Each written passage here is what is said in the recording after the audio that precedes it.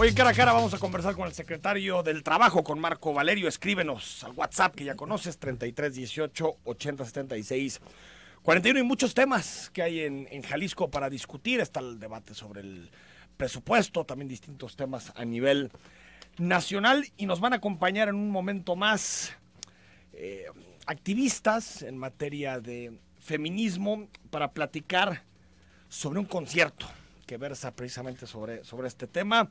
Y más adelante, Presa del Zapotillo, también discusión con Héctor Castañón, nuestro colaborador. Hasta las 10 de la mañana estamos aquí contigo en Cara a Cara. En esta mesa dialogan todas las ideas, se genera la noticia y se dicen las cosas. Cara a cara, la información clara y precisa en voz de sus protagonistas. Cara a cara con Enrique Tusein.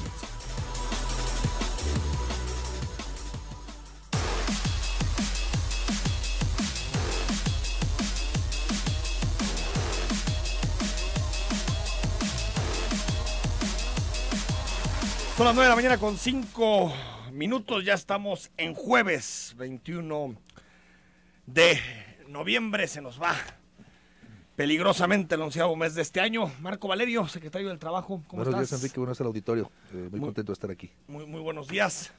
¿Cómo te fue en la glosa? En Bien, la glosa en, el, este- en el Congreso.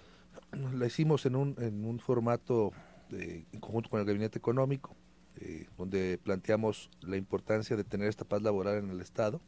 Ayer precisamente tenía una reunión con algunos líderes de las cúpulas empresariales y coincidían en que la dinámica que está llevando en Jalisco en el tema de paz laboral pone ejemplo en muchos estados. eh, y en esa dinámica vamos a seguir. 2020 es, un- es el verdadero año del reto en la implementación de la reforma laboral. Pero a partir de ahí, pues bueno, generar eh, esquemas importantes. La generación de empleo en el 2019 sigue siendo eh, un ejemplo Jalisco a nivel nacional, prácticamente eh, junto con la Ciudad de México, quienes generan el mayor número de empleos en este país.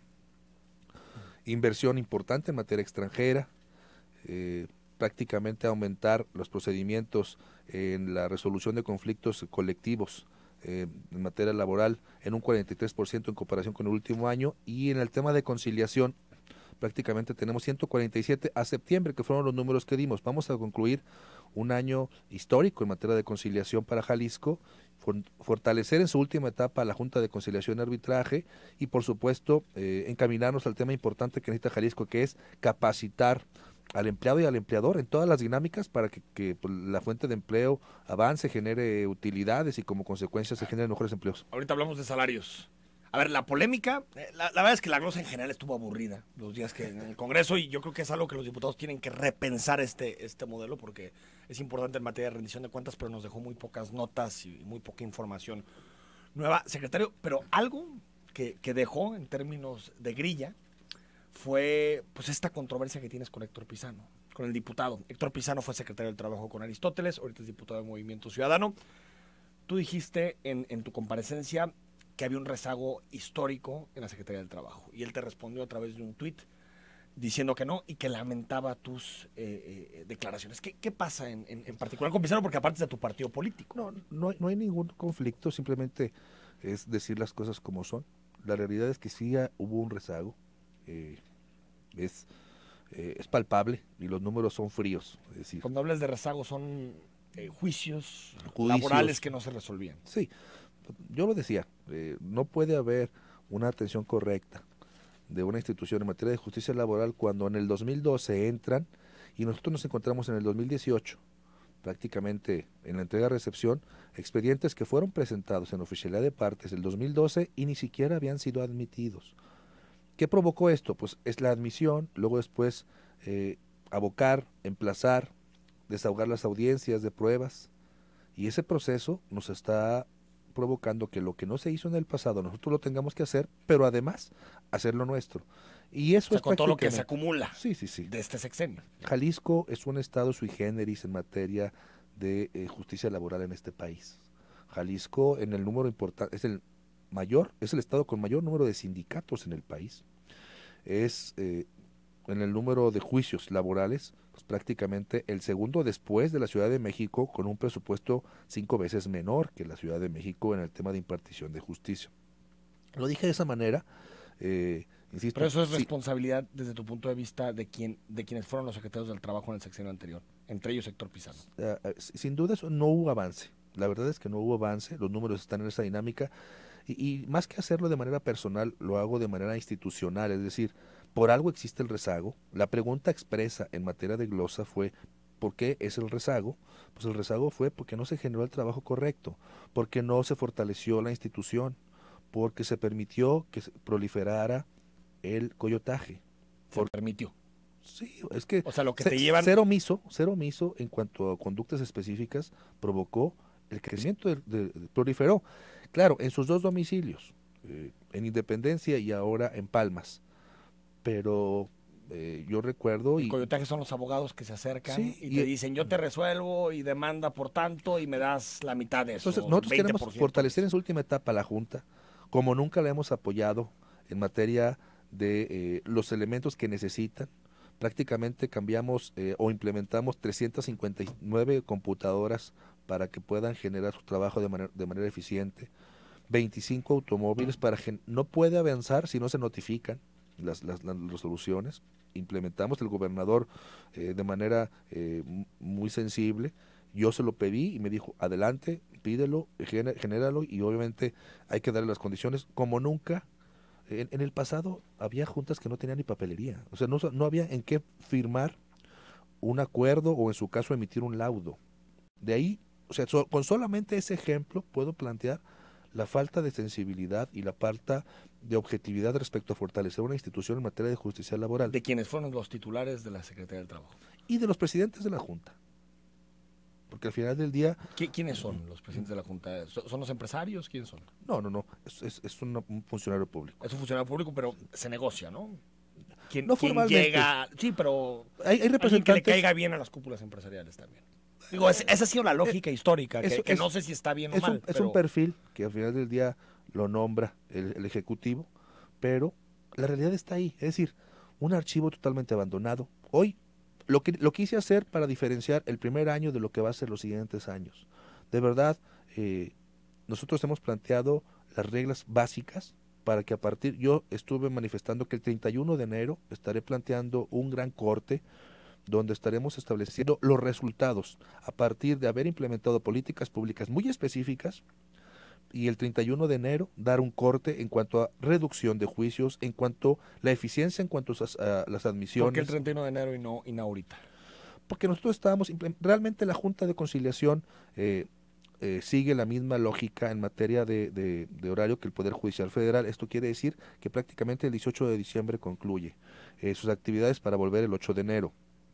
Eh, en, ese entendido, lo que queremos nada más es ya volver a, plantear muy claro todas las lo- la numeralia que, que tenemos, ¿no? Había cosas que no se medían, porque era nada más decir cuántas cuántas demandas entraron y cuántos laudos hay. No, en ese camino hay un número importante de circunstancias positivas, como, cuáles- como el número de conciliaciones que tal vez concluyen de manera eh, eh, anticipada O sea, un que no se juicio. judicializa, que no... Exactamente. ¿Qué, qué es lo, qué es lo ideal? ¿no? Es Para lo eso ideal. existen las juntas. El número de audiencias celebradas y desahogadas, el número de desistimientos, porque al final del día ¿Eso lo vas a informar entonces el 31 de enero? Sí, es, un- es una numeralia histórica. Lo que vamos a hacer en cuanto a conciliaciones, en cuanto a desistimientos, en cuanto a caducidades, en cuanto a prescripciones, en cuanto a laudos emitidos, nos va a dar la oportunidad de establecer que el primer año fue un año de trabajo, de implementación, de fortalecimiento de la Junta y que el 31 de enero estaremos dando un corte muy específico de la reducción de juicios y también de la fortaleza que queremos darle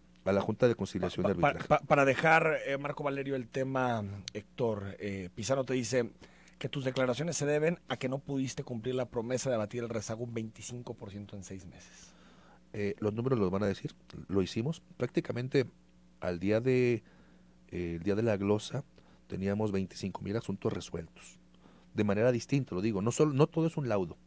Lo que nosotros eh, vamos a plantear es de manera muy clara que hubo 25 mil juicios resueltos en lo que nos corresponde y que, vamos, y que seguimos avanzando. Todavía resta noviembre, resta la parte de diciembre y vamos a concluir. Pero se Vamos- alcanzó el 25%. sí, vamos a reducir. En este momento ya hay una reducción de 25%. Muy importante. Nosotros a- a- a- ayer estaba trabajando eh, todavía eh, en alguna numeralia y bueno, estamos eh, teniendo circunstancias muy positivas en materia de conciliación. eh, pugnando por esto, profesionalizando. La otra es capacitamos al personal. En el pasado no se capacitaba al personal, se le abandonaba. Hoy lo que queremos es capacitar, pugnar porque haga su mejor esfuerzo. Al final del día es una institución que sí, efectivamente necesita mucho personal, pero el que está, hay mucha gente comprometida, que vale la pena y que al final del día, si no los capacitamos en la dinámica formal, hoy en el tema de, conciliación, eh, pues por eso, por eso abandonan. Entonces hoy los estamos capacitando e insisto, vamos a, tener una, una, junta muy fuerte en lo que respecta a su última etapa eh, previo a la creación de los juzgados en materia laboral. Que es parte de la reforma eh, eh, laboral. Otro de los asuntos que tiene que ver con las juntas, antes de pasar también a temas de salarios y, demás discusiones sobre el mercado laboral, secretario, es la corrupción. ¿Hay corrupción en este momento en las juntas locales? Es una institución que yo respeto, pero sin duda alguna en el pasado existieron políticas públicas mm, no positivas. Había corrupción entonces en, las juntas. Sí, sí, sí, sí. ¿Y la hay en este momento, secretario? Estamos tratando de debatir. No, no quisiera, ya a mí me gusta decir las cosas como son. Decir que no hay es mentir. Yo lo que estoy haciendo es ser responsable, como nunca, como nunca estamos abriendo eh, eh, expedientes para que las cosas sucedan, que todo el mundo tenga una certeza jurídica, cualquier justiciable, sea un empleador o un trabajador, sepa que la dinámica será en positivo, que tratamos de fortalecer una institución que al final del día depende, depende de seres humanos. Y por eso hoy queremos incorporar el tema de la tecnología para que no dependa de un ser humano registrar o no una demanda en un libro de gobierno o decir que un expediente no se encuentra físicamente si tenemos un archivo digital.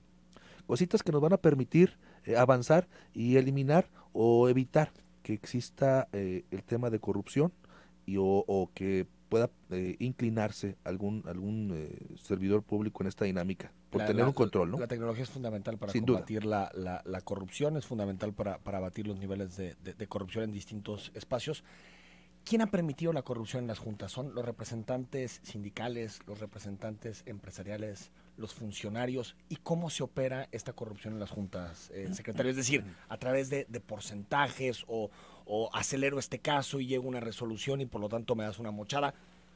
¿Cómo operan las investigaciones que ustedes están llevando? Quisiera hablar, eh, por ejemplo, en el tema del anticoyotaje, eh, nosotros lo que identificamos es que a partir de que no avanzaban los asuntos, eh, gente ajena a la Junta eh, trataba de abusar de la gente que no conoce el procedimiento, que sabe que no sabe que hay eh, asesorías gratuitas por parte de la Procuraduría del Trabajo, y en esa dinámica los incorporaban al a esquema del engaño. Les decían, yo te ayudo, sale tu asunto rápido y yo te cobro un porcentaje que al final del día era, les firmaban pagarés en blanco y concluían con porcentajes inclusive de hasta el 50%. el 50%.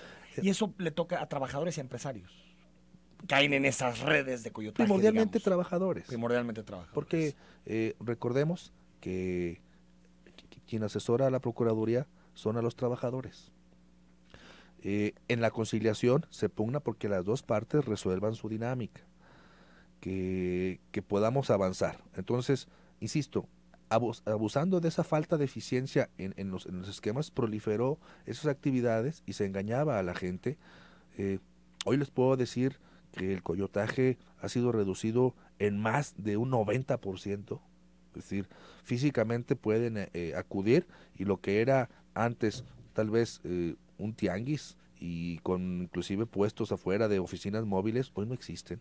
Hoy seguimos insistiendo en asesorar de, manera correcta. Eso nos ha dado la oportunidad de tener un mayor número de conciliaciones, gente que pensaba que tenía un derecho eh, porque presumía que había sido despedida, no lo es. Hoy estamos dando la certeza a todos, al empleador, al trabajador, y por eso Jalisco sigue dando buenos resultados. Insisto, eh, hablar, hablar de inexistencia o no de la corrupción. ¿Me admites? ¿Sigue habiendo corrupción? O sea, habiendo corrupción las juntas, no se puede queremos, extirpar de la noche a la mañana. No, pero lo estamos haciendo de manera muy responsable, insisto, metiendo tecnología, platicando con la gente, haciendo responsables, hemos establecido métodos de control, eh, hablando con los presidentes, que nos ayuden a generar una dinámica de certeza. E insisto, les digo, hay que dignificar en esta última etapa esta institución tan importante en materia de justicia laboral. Jalisco puede ser el ejemplo importante en esa dinámica y están, eh, pues obviamente, en, esa, en ese esquema emocionados en poder dar el mejor de los resultados. Así lo digo también con los secretarios, con los presidentes auxiliares, con los actuarios. Hemos tratado de generar una dinámica de tener una concentradora para notificar de manera eficiente. Vamos a dotar hoy de mayor equipo para el área de notificación. Precisamente a las 11 de la mañana les entrego otras camionetas para seguir eficientando el tema de notificación. Quisiera hablar de los temas positivos de la Junta. Ahorita, ahorita entramos, ahorita entramos a, platicar eso. Nos vamos al corte. Eh, secretario, nada más en este tema. ¿Hay alguna denuncia presentada? Por, por algún caso, una red de corrupción interna en la Secretaría que permitió el coditaje? Sí, sí las hay. Eh, ¿tú, la, ¿Tú la presentaste? Yo presenté unas, otras las presentaron particulares, eh, otras en la entrega-recepción se, se, generaron a partir de identificar circunstancias específicas que la presentó el presidente de la Junta, presentó un caso muy específico respecto a el no correcto manejo del archivo, en fin, yo creo que se, armó, se está armando un equipo importante para poder identificar que en el pasado hubo errores, hoy ya pasaron las cosas, hoy tenemos la oportunidad de mejorarlo, pero en la pregunta expresa, insisto, cuando me dicen el rezago, ¿por qué ocurrió? Pues porque no se trabajó. En, los, en el sexenio anterior, sobre todo. Sí. Vamos al corte, estamos con Marco Valerio. Unos minutos eh, más, mándanos tus preguntas. Ya están llegando muchos mensajes de WhatsApp al 33 18 80 76 41. Son las 9 de la mañana con 22 eh, minutos, jueves 21 de noviembre. Aquí estamos totalmente en vivo, en cara a cara. Están llegando tus mensajes. Ahorita se los pasamos al secretario del Trabajo, Marco Valerio, que está aquí con, con nosotros. Secretario, estrés laboral. Estrés laboral, eh, se aprobó la norma mexicana 035 y hay muchísimas interpretaciones sobre, sobre la norma 035, que si yo ahorita me siento estresado y puedo ir a al, al, patrón, que si, que si no, qué, qué significa estar eh, estresado. ¿Cómo va a operar esta, esta norma 035? Esta, su nombre correcto es la norma 035, factores de riesgo psicosociales al interior de la fuente de empleo. ¿Qué quiere decir esto? Que la palabra riesgo es vital ahí, es identificar qué es lo que le genera estos problemas psicosociales a los empleados. ¿Qué, ¿Qué se tiene que hacer? Pues una identificación del problema de manera progresiva. Los que tienen de 1 a 15 trabajadores solamente hacer un plan preventivo, donde ellos consideren eh, qué es lo que se tiene que hacer. La norma 035 tiene al final eh, unos anexos que son reactivos, este, cuestionarios para identificar qué es lo que eh, le puede... estrés así es. En, en tu trabajo, en tu chamba pueden ser muchas, muchísimas cosas, entre otras, por supuesto, la carga de trabajo. Jalisco eh, está poniendo el ejemplo en cuanto a número de trabajadores, pero México como país está identificado por la OIT como un país de, de sobrecarga eh, en el trabajo. No me refiero solamente en un solo, en uno solo, sino hay gente que destina prácticamente 18 horas de su vida diaria a trabajo para satisfacer sus necesidades. Tenemos esta dinámica de, mucha carga de trabajo, pero no somos tan productivos. Así es. tal vez hay que buscar más la productividad y menos horas. Eh, ¿Qué, sucedió alrededor de esto? Eh, muchos mitos y con muchas intenciones de generar eh, negocio. No es la dinámica, no se va a certificar a nadie para decir esta empresa te puede ayudar o no. No, es simplemente identificar qué sucede y como consecuencia prevenir todos en cada uno de sus fuentes de empleo. Bajo esa dinámica, ir avanzando y resolviendo los esquemas. Si se identifica un caso grave, por supuesto que habrá, habrá que derivar a quien tenga el esquema de, riesgo psicosocial eh, y como consecuencia el estrés laboral a un profesional. Pero eso no quiere decir que las empresas tengan su departamento de área con psicólogos. Digo, si lo tienen mejor. Sí, claro, pero no les obliga pero si pueden poner eso al servicio de los trabajadores. Hay empresas que ya lo tienen. Salud mental. Así es. Son mucho más productivos. Y, es identificar.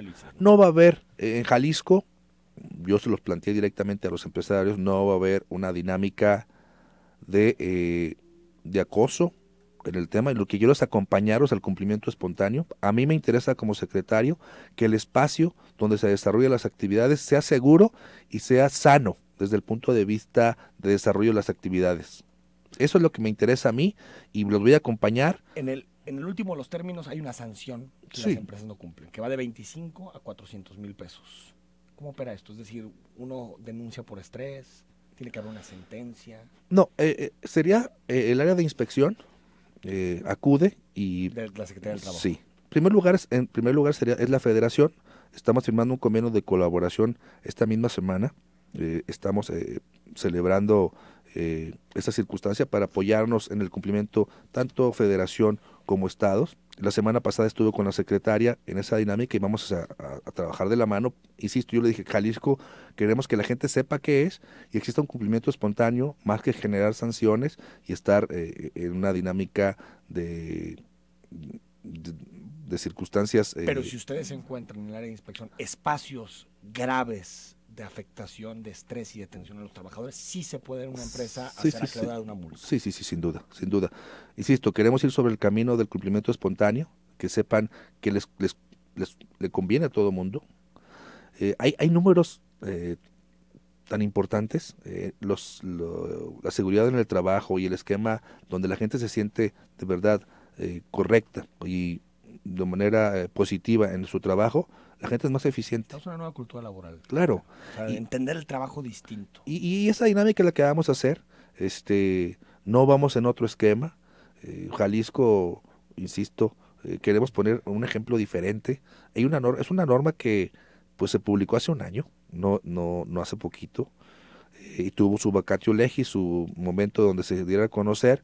El día 23 de octubre entra en vigor como tal. Bueno, y ahí es donde empiezan todos estos mitos. Que si tengo que contratar a una empresa, que si. No, simplemente analizar qué es lo que tienes, ejecutar tus cuestionarios, valorarte como fuente de empleo y en esa dinámica plantearte un esquema de mejor- mejorar las condiciones y entender que lo más importante de una fuente de empleo es el capital humano. Dos asuntos, antes de pasarte las preguntas del, del auditorio, secretario. La primera, eh, entramos en un periodo del año donde se destruyen empleos.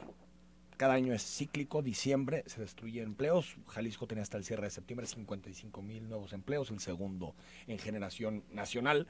Pero llega diciembre y se destruyen empleos. ¿Qué puede hacer la Secretaría del Trabajo para evitar que esta destrucción impacte en la, en la vida de las familias? Octubre todavía generó, un- somos el segundo, ya, ya con los números importantes eh, emitidos y publicados hace algunos días. Noviembre y diciembre eh, hay una gran plática y un gran diálogo con las eh, cúpulas empresariales para entender que lo que necesitamos es continuar, continuar con la generación de empleo, con el, el tema formal de no eh, establecer lo que hace muchos años se generaba. Sí, sin duda alguna diciembre representa para muchos eh, un gran esfuerzo. La verdad es de que ¿Y hay, enero qué te digo? Hay, dinámicas, o sea, yo ayer estaba hablando con quien, Luis Aguirre, quien es eh, el, eh, el evento nacional del Index, y hablábamos de cómo hay, hay giros que se les puede complicar, inclusive el tema del pago del aguinaldo, por tener prácticamente 15 bimestres a la baja, industrias como la minera, industrias eh, difíciles de com- hay otras que no, hay otras que están eh, creciendo. Pero estos trabajos que desaparecen son, son, son los que se crean temporales para el año. Así es, Y en diciembre ya no generó nuevo contrato así es. y se destruye el Así es. Pero no- no- espero que no sea así. Tenemos un, un plan eh, para que Jalisco siga creciendo. Históricamente ya octubre era un mes complicado. Ya al menos en este año fue positivo. Seguimos siendo el segundo con más de 13 mil empleos creados. Y bueno, estamos esperando ya en la ruta de noviembre. Tenemos muy buenos eh, números eh, previstos para que noviembre concluya también con esquemas positivos y únicamente ya establecer el tema de diciembre. Entonces, vamos a avanzar, queremos eh, ayudarles en el tema del, del aguinaldo, que, que sepan que la Secretaría del Trabajo está ahí para apoyar tanto al empleador como al empleado. Y si hay algún eh, trabajador que considere que no se le dio el tema formal en el tema del aguinaldo, nosotros estamos para que ayudarle a que se cumpla. Es un derecho. el aguinaldo, Así es es. un derecho. No Entonces, es una eh, concesión. La Secretaría del Trabajo eh, ha sido una secretaría vital en el tema del crecimiento económico del Estado, eh, porque al final del día aquí se genera mucha certidumbre. Es decir, si bien es cierto, la atracción lo puede, lo puede, lo hace en conjunto o otra secretaría. También lo, cierto es que la Secretaría del Trabajo genera las condiciones y preguntan, ¿hay huelgas? No las hay. ¿Cómo es el tema de la justicia laboral en cuanto a dinámicas? Y les hemos dado los números de conciliación y hablan en positivo. Eh, Está bien que haya, que no haya huelgas, pero lo que me parece dramático, secretario, es que en Jalisco se gane menos que en el promedio nacional. Siendo un motor de la economía, 6% del PIB, 12% del PIB agroalimentario, en Jalisco se gana mucho menos que en Nuevo León, mucho menos que en la Ciudad de México, mucho menos que Querétaro. ¿Cuándo se va a hacer algo con los sueldos? Porque ya, lo estamos haciendo. Eh, pero eh, casi nada de la dignidad de los salarios para los entender, entender que el, salario no puede subir de un día para otro solamente por una manifestación o por decreto. Pero se tienen que hacer políticas públicas. Tiene que ir acompañado. Y lo que estamos haciendo es trabajar la capacitación.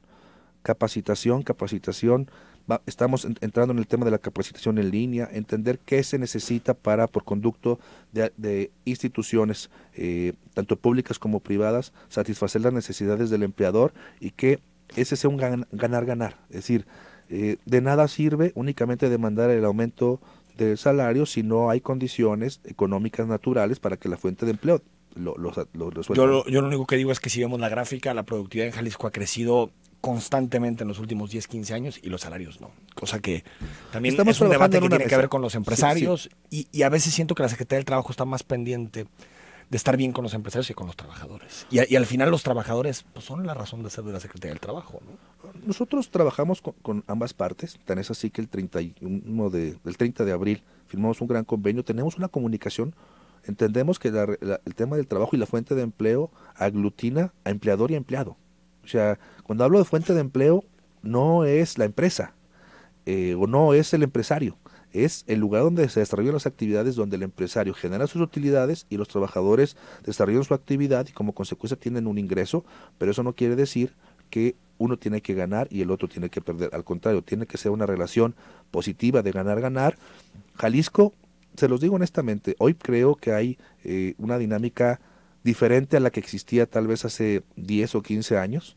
Hoy caminan de la mano empresarios y, el sector obrero.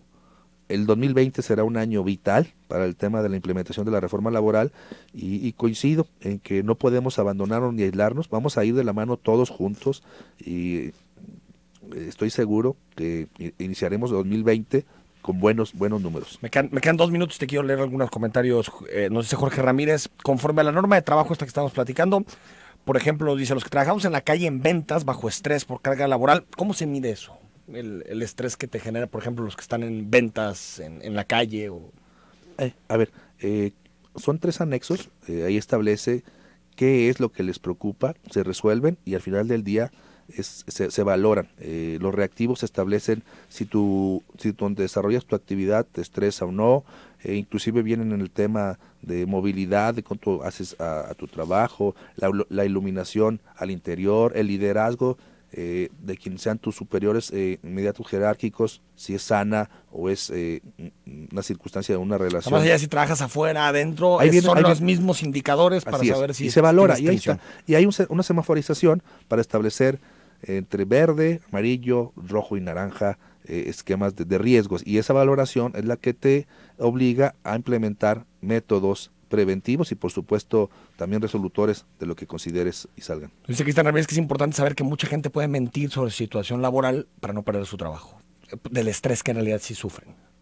¿Eso, eso lo tienen pensado? Es anónima. Es anónima. es anónima y ahí pues, obviamente no saben ¿Quién, quién respondió? Pedro nos dice, Pedro Jaramillo, buen día, saludos a todos. Eh, en mi lugar de trabajo tenemos un contrato de 48 horas a la semana. En esta temporada las jornadas son de 15 horas al día, incluyendo fines de semana. Eh, cumplo mis jornadas y apoyo. La empresa puede sancionarme si falto el domingo por el deseo de descansar y desestresarme. ¿no? Pues, aparte, 48 horas es totalmente irregular. Irregular, irregular. a menos que acuerde horas extras que se pagan de determinada manera. Sí, es irregular. Nosotros pues obviamente yo le pediría que pueda acudir con nosotros o tener aquí los datos y poder revisar la fuente de empleo para ver si cumplen cabalmente con las condiciones. Aquí todos tienen que respetar la ley y si el trabajador está desarrollándose de manera correcta, también el empleador tiene que cumplir cabalmente con el esquema formal. José Manuel Covarrubias, buen día. Lamentablemente el empresario tapateo tradicional no entiende que su mayor activo es el empleado Llevo 20 años viviendo aquí en Guadalajara y tristemente es una tradición empresarial pagar poco y considerar como indicador la llamada hora nalga y no la productividad. Coincido 100% con su comentario. Hay empresarios que están cambiando y que, bueno, José Medina Mora es uno, que entienden el trabajo de forma distinta. Sí. Y el mundo, el mundo nos demanda diferentes Totalmente. circunstancias. Hoy ya, ya habrá que valorar si la jornada de ocho horas es la correcta o no. Hay esquemas de Trabajo desde casa. multipatrón. O sea, hay, hay, hay esquemas que, que no están previstos todavía en la ley. Falta, falta mucho por ajustar la ley federal del trabajo a las necesidades mundiales. Hoy tenemos una dinámica, pero coincido en que hay muchas cosas por mejorar. Secretario, quedan muchísimas preguntas.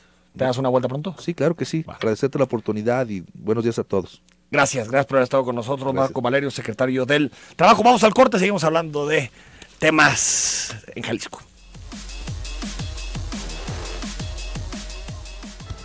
Trabajar Son las 9 de la mañana con 39 minutos. Gracias por tus mensajes. Ahorita le damos eh, lectura a tus mensajes, preguntas para el secretario del, Trabajo, temas de estrés laboral, temas relacionados con los, con los salarios. Pero hacemos un paréntesis para hablar unos minutos de Saldar la Deuda, que es un concierto eh, feminista que vamos a tener aquí en la, en la ciudad, un proyecto colaborativo entre distintas organizaciones, Tejidos Feministas, Oxfam México y Parvada, y me, me acompañan eh, Audrey Funk, ¿así? Audrey Funk, que es Audrey. Sí, sí, sí. Audrey Funk, rapera feminista. Sí, así es. ¿Cómo- cómo mucho, estás, Mucho Audrey? gusto, gracias. Bien, súper contenta de estar aquí en, en Guadalajara por, por segunda vez en la vida. en la vida, bueno, no sean más. Y Jacqueline Gala- Galaviz, que es integrante de Tejidos Feministas y coordinadora del proyecto Saldar la Deuda. Platícanme de Saldar la Deuda, ¿qué es, Sí, claro. Jacqueline? Gracias por el espacio. Saldar la deuda es este trabajo que estamos realizando desde Oxfam, Parvada y Tejidos Feministas, en el cual estamos hablando de temas de justicia fiscal. Es decir, estamos haciendo exigencias a los gobiernos eh, sobre la necesidad de contar con presupuestos con perspectiva de género. En específico, estamos eh, analizando cuánto ha gastado el gobierno del Estado de Jalisco en los procesos de alerta eh, de violencia local y federal desde 2016 que se activa la primera a la fecha. Eh, estamos viendo en qué se ha ejecutado ese presupuesto y nuestro objetivo como parte del proyecto es generar una calculadora presupuestal una calculadora que nos señale cuánto está gastando el Estado en temas de violencia feminicida, particularmente en feminicidio. En violencia, En violencia nada más en eso. Sí, y específicamente, mm, porque sabemos que la violencia feminicida pues abarca ¿no? distintas violencias que lamentablemente pueden culminar en un feminicidio, pero eh, la calculadora la vamos a dirigir hacia el tema de femi- atención a, a de feminicidios y a violencia sexual, particularmente al programa de interrupción legal del embarazo, es decir, cuánto está gastando el gobierno versus cuánto tendría que En la NOM. En la NOM implementación- 046, en que es la única forma permitida en este momento en el Código en Jalisco, ¿no? Sí, y bueno, eh, y eh, en el programa que hay, en octubre de 2017, el gobierno del estado sacó un programa de interrupción legal del embarazo, es el único estado en la República que cuenta con uno, en el cual se puede acceder a la interrupción eh, con las tres causales que contempla el código, ¿no? Eh, eh, riesgo de salud, riesgo de muerte y violación. Violación, ¿no? Así es. Entonces, para nosotras es como muy importante hablar de estos temas porque al final el mensaje que queremos mandar es la omisión del Estado eh, nos está costando la vida, ¿no? A, a las mujeres eh, en Jalisco van, de acuerdo a los datos del secretariado, a septiembre eh, 200, más de 30, 230 mujeres asesinadas, de los cuales solamente se han tipificado creo que 36, 37 como feminicidio, que también es otro tema, ¿no? Cuando compañeras hablan que cerca del 80% en realidad son feminicidios. Este, y eh, justo para nosotras es muy importante, pues desde la economía feminista, desde este eh, visibilización ¿no? Eh, de las violencias que vivimos, pues hablar de ellas y compartirlas. Y es por eso que Porque se supone que todo el presupuesto tiene que ir con perspectiva de género. así es. y que Es en un realidad mandato constitucional. Así es. debatirlo, ¿no? sucede, ¿no? sucede. Y justo luego lo que consideran como presupuesto con perspectiva es aquello que etiquetan como mujeres, que en realidad es menos del 1% y no tiene realmente perspectiva, ¿no? Entonces justo para nosotras es bien chido estar aquí porque el día de mañana es un día muy importante para nosotras porque contamos con la presencia de eh, Audrey, de Rebeca, de Panchita Peligro y de Alfonsina en este concierto que A ver, vamos a tener. platícanos del concierto, eh, Audrey. Justicia fiscal y, y música, como que. No, no, no, las, no los enlazo mucho, Ya, esas que- dos cosas. creo que creo que es bastante pues se, se, se llevan bastante bien porque nosotras hacemos música de protesta verdad también es música con corte feminista y declaramos yo siempre he dicho que nosotras bueno Yo me salí de la academia, yo soy licenciada en filosofía y decidí no ser académica porque decidí ser rapera. Eh, pero ¿por qué? Porque siento que a través de la música se puede llevar un mensaje bien padre al barrio, ¿me entiendes? O sea, la gente que necesita esta información, que realmente no se pone a leer los códigos penales y que si la institucionalidad de no sé qué tanto, ¿no? O sea, estaba allá afuera echándole y una canción que les diga algo y que neta las haga mover y a la vez pensar, pues también es chido. Entonces, las compañeras nos, contactaron a nosotras, a Rebeca Lane de Guatemala, a mí que soy de Puebla pero vivo en Nueva York, y nos acompaña Pachita Peligro, que también es una DJ feminista súper chida de Ciudad de México.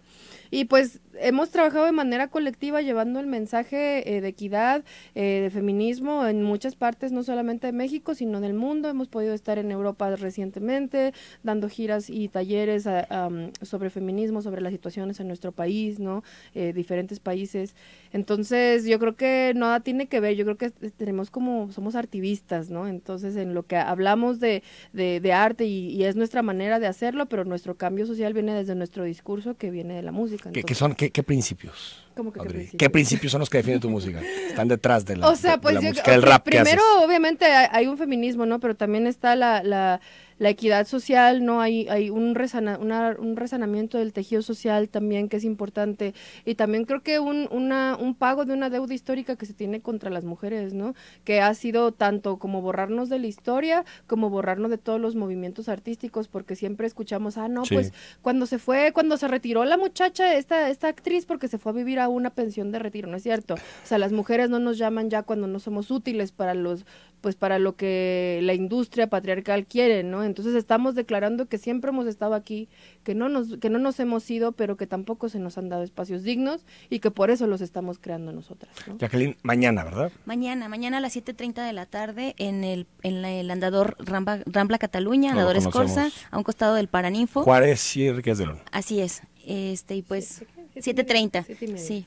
7:30 y quien tenga ganas va. Gratis, gratis, La palabra, la palabra mágica, gratis. Gratis. Entonces, quien, quien guste se puede para toda la familia también. Sí. entrada libre, porque justo, o sea, creemos que tiene todo que ver, ¿no? Lo que va a pasar mañana con el tema de la exigencia de la visibilización de las mujeres, como decía Audrey, en la música, pero también en la política, en la economía, ¿no? Y todos los aportes que han estado invisibilizados. Entonces, pues les invitamos el día de mañana. Pues mañana siete y media, Rambla, Rambla Cataluña. Audrey, Jacqueline, gracias. Gracias, por estar aquí con nosotros. Vamos al corte, hablamos sobre la presa del Zapotillo.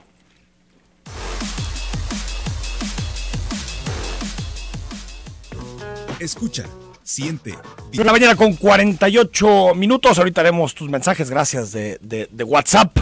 A veces en, la discusión parece que, que la presa del Zapotillo es la única alternativa que tenemos en Jalisco y en la zona metropolitana de Guadalajara para dotar de agua la mancha urbana para dotar de agua a este motor económico que son los altos de Jalisco y durante muchos años hemos estado, digamos, como en esa especie de laberinto sin alternativas, en donde los discursos de los gobiernos son o se hace el zapotillo o Guadalajara va a sufrir una grave crisis de agua. Sobre este tema, sobre la presa, sobre lo que supone eh, esta discusión, es el comentario de esta mañana de Héctor Castañón. Héctor, ¿cómo estás? Hola Enrique, buenos días. Adelante. Enrique, gracias. Mira, la semana pasada eh, se llevó a cabo en Guadalajara un foro internacional precisamente para evaluar alternativas de abasto de agua a las áreas metropolitanas de Guadalajara y de León, ¿no? Y el foco fue no si es el zapotillo o no el zapotillo, sino evaluar alternativas de abasto de agua, no solamente para uso doméstico, sino para uso industrial, para uso en, la agricultura, en, en, estas dos regiones. En el foro participaron eh, universidades como la UNAM, el ITES, UDG, la UVM, la Universidad de Guanajuato, eh, especialistas de la Universidad de Zaragoza y del sur de California, además de organizaciones y la Semarnat. Este foro todavía no es parte de las mesas formales que convocaría Semarnat junto con el gobierno del Estado y los actores, pero digamos es, em, es un ejercicio de ir reuniendo información para darle forma a las distintas alternativas que hay de abasto de agua.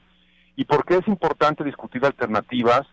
Si, por ejemplo, el, discurso del gobierno del Estado es que el zapotillo ya está, ¿no? Y, no lo vamos a demoler y es una inversión que ya se hizo y lo mismo dicen los empresarios, ahí está el zapotillo, vamos aprovechándolo. El problema es que para concluir todo el proyecto del zapotillo y el sistema del acueducto a León, todavía falta prácticamente la mitad de la inversión, 35 mil millones de pesos.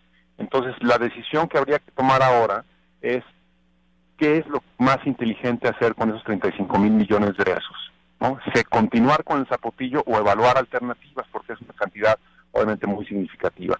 Esa es la pregunta central, porque no alcanza para todo. Entonces, el criterio que está proponiendo es pues, a partir de un análisis de costos y beneficios. Y digo costos en plural porque no solamente tienen que ver con los costos de construcción, sino también hay que observar los costos de operación, los costos sociales, los costos ambientales, y en términos de beneficios, no solamente eh, los, los millones de metros cúbicos que nos daría la presa, sino la durabilidad, la seguridad, la estabilidad y los servicios ambientales que pueden conllevar las distintas alternativas. Concretamente se habló de tres alternativas. La número uno, y muy conocida, es reducir las fugas que hay en el sistema de distribución en las áreas metropolitanas, en las dos áreas metropolitanas, que andan entre el 30 y 40%.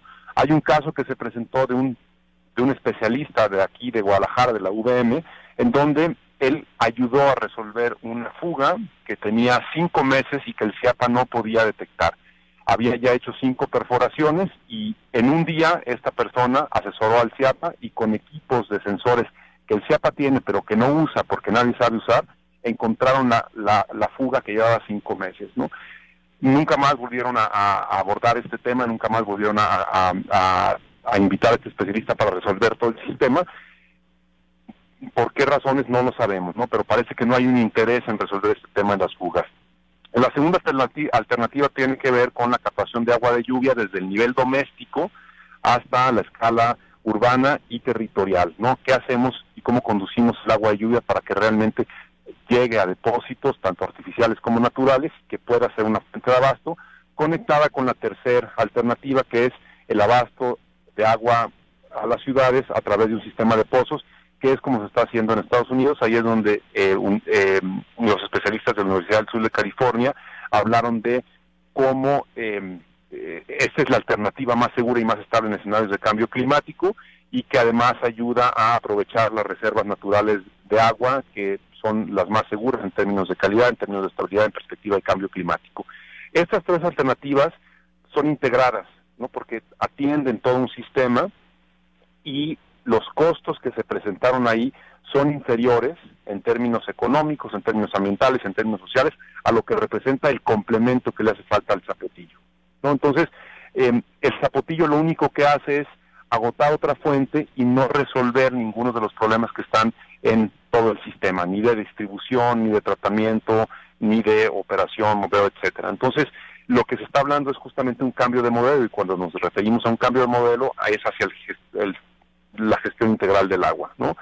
Em, en términos de operación, muy, rápidamente, ¿no? Eh, no se está considerando que eh, el proyecto Zapotillo particularmente representa un, un, de facto una privatización del agua porque la operación estaría a cargo de Abengoa o las, las empresas con las que resuelvan su situación de, quiebra y estaría también administrado por Aguas de León. Aguas de León em, eh, tiene serios problemas de, denuncias por corrupción porque es administrada por un grupo de empresarios que eh, de alguna manera han privilegiado el interés privado sobre el interés público. Entonces, hay un negocio detrás de esto y hay intereses muy fuertes que están impulsando el proyecto del Zapotillo y el acueducto, particularmente eh, desde la perspectiva de la ingeniería hidráulica, sin tomar en cuenta otras variables que son indispensables eh, considerar en este momento. Y una de ellas es que se desconoce el impacto ambiental. No solamente hay, habría, habría que considerar el impacto ambiental de la construcción, sino el impacto ambiental del embalse y lo que pase después de la cortina. Secar un río, que es el escenario viable, es, es, el escenario posible, perdón, eh, tiene un montón de implicaciones para la región de los Altos de Jalisco en términos de humedad residual, en términos de cobertura vegetal, en términos de polinización, y eso trastocaría todo el sistema alimentario. Quien diga que no, tendría que presentar las evidencias y no existe un estudio de impactos ambientales de todo ese sistema.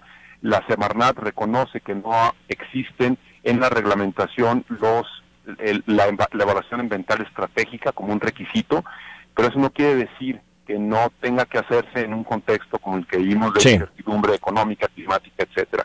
Entonces, ahí están las razones, hay suficientes evidencias y lo que falta es que el gobierno del estado convoque una discusión abierta, seria, transparente, para que no sesgue su posición, digamos, a la ingeniería hidráulica, que son sus principales asesores, el ingeniero David Zamora, Carlos Aguirre, eh, Carlos Valencia, Carlos Hernández, vienen de una tradición de construcción de presas, pero no es sobre el pasado en el que hay que tomar, hay que basarnos para tomar esta decisión, sino en el futuro, las nuevas perspectivas, los nuevos conocimientos, y ahí está, es una decisión que debe tomarse con responsabilidad y pues es el llamado que se hace, ¿no? Al gobierno del Estado para que le entre en serio a esta discusión de alternativas.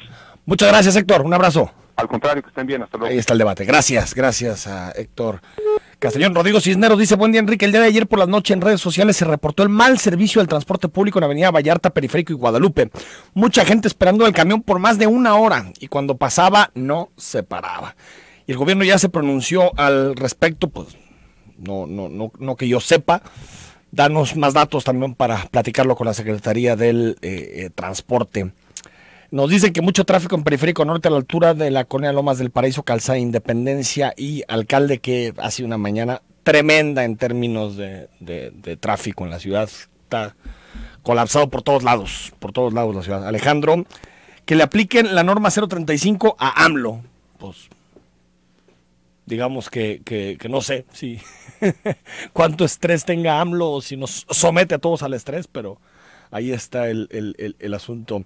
Doctor Herrera, buenos días. ¿Qué se puede hacer para notificar correctamente a los citados a las juntas para los, eh, para los notificadores oficiales del gobierno estatal o municipal? Son las policías municipales y preguntarle de qué asunto se trata. Ahorita ya pasamos, Héctor, con mucho gusto tu em, debate, em, eh, tu, tu tu pregunta a, la gente de, la Secretaría del, Trabajo. Bueno, no, nos piden guardar el anonimato. ¿Cuántas horas por semana debe trabajar un trabajador de confianza? Quien sea, el máximo que permite la Constitución, aunque no se cumple, son 40 horas, es decir, ese es el máximo semanal. Y después las horas que, pasen las 40 eh, se tienen que pagar o doble o triple, dependiendo en qué días se ejercen. El, problema es que vemos que en el mercado laboral permanentemente estamos superando esas horas de trabajo. Eso genera más estrés, más cansancio, menos tiempo para estar con la familia. Por eso hablaba de, del cambio en la cultura del, del, empleo. Porque eh, al final eh, estamos en un mundo muy distinto a la, anterior ya. Las, las nuevas generaciones van a cambiar mucho más de trabajo, no, no es como antes que agarrabas un trabajo, te desarrollabas en una empresa, ahí pasabas 25, 30, 35 años y después te jubilabas, ese era el caminito. Ahora las cosas cambian, el trabajo es mucho más flexible, el, se han eh, habituado también por, por la desintegración del mercado laboral a que una persona puede llegar a tener dos o hasta tres empleos también, es decir, estamos hablando de cambios fundamentales en el mercado del trabajo y, yo creo que, eso es lo que le planteamos al secretario del Trabajo y que eh, desde esta instancia se haga ya algo en materia de salarios, de sueldos. Eh, tenemos que abrir la discusión, yo no digo que, que haya fórmulas mágicas, hay grandes discusiones a nivel nacional, pero leía, por ejemplo, un editorial en el New York Times esta semana en donde hablaban de México y decían es fundamental que, que, que Estados Unidos presione para que se pague mejor en México. No porque les interese mucho los trabajadores mexicanos, sino porque si se paga mejor en México, eh, se vuelven más competitivos los eh, trabajadores estadounidenses y por lo tanto las empresas se quedan en territorio estadounidense. Es decir, es un tema que se tiene que abrir y a veces no veo el salario que es la base de todo, no lo veo en las, en las discusiones públicas. Se informa mucho de trabajo y muy poco de la dignidad del salario. Nos vamos, mañana ya es viernes, viernes 22 de noviembre, y estará con nosotros la Contralora del Estado. Vamos a hablar de muchos casos que están abiertos de, corrupción y que se están investigando. Soy Enrique Tucen, mañana viernes estamos aquí a las 9.